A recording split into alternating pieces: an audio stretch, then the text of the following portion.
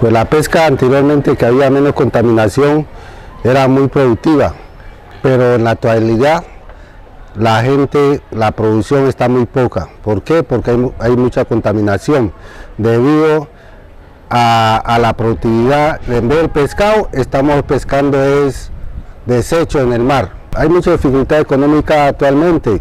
Por lo menos ahorita el, que vive eh, allá afuera en el mar de lo que es el camarón langostino que se pesca con una malla que se llama trapito, se pesca con electrónica, eh, la producción es muy poca. ¿Por qué?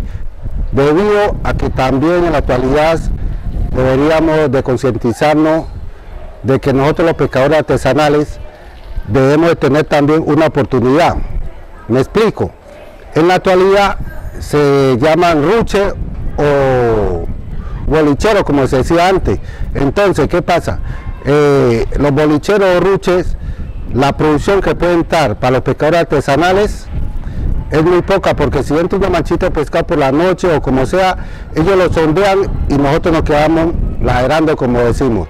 Entonces debería de haber eh, una concientización a nivel de los pescadores y a nivel de nacional, o sea, a nivel, estoy hablando a nivel nacional, a nivel de lo que puede decir del gobierno, hacer una gestión de que todos nos lucremos en la actualidad, porque nosotros también necesitamos salir adelante y tener oportunidad para sacar adelante nuestra familia.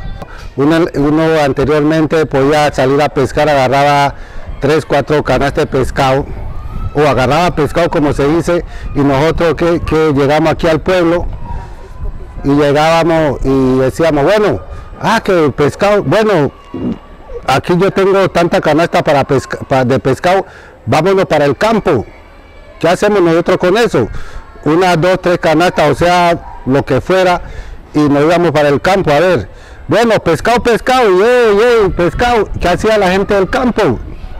Estoy hablando a nivel de, los campos, o sea, el monte, como dicen acá. Por decir, ya, por decir eh, Ramos, Ampero, ¿sí me entiende? Ah, bueno, no, que no tengo para comprarle, pero aquí tengo esta, esta racimo de plátano, tengo este banano o aquel zapote.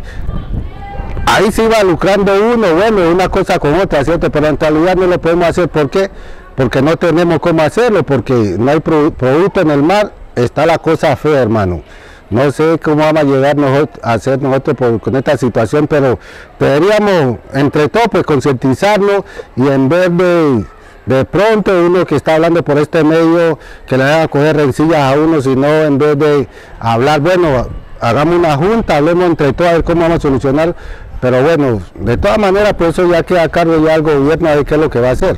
Y la merma vino por ese derrame de petróleo, o sea, el crudo, y pues también por la situación de, de los herruchos, los denominados bolicheros, porque ya, claro, se mete muy a la orilla, entonces ahora con ese sonar que ellos cargan, uno, el pescadito que puede arrimar para uno como pescador artesanal no arrima porque ellos ya lo detectan y llegan de una vez, todo para ellos y entonces uno como se queda caladerando. Entonces pues debería de haber una concientización a nivel de los señores que tienen su rucho, bolichero y hacer programas a nivel de, los, de los pescadores artesanales a ver a qué arreglo se llega.